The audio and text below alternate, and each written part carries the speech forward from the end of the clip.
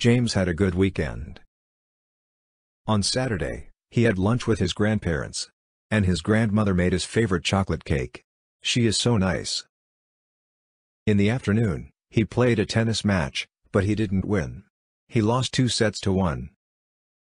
In the evening, he went to the cinema with his friends, and they saw the last Star Wars film.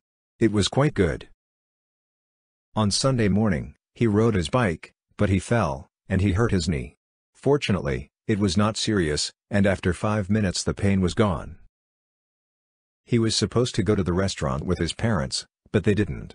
They stayed at home, because his father didn't feel too well. In the afternoon, he read a science fiction book.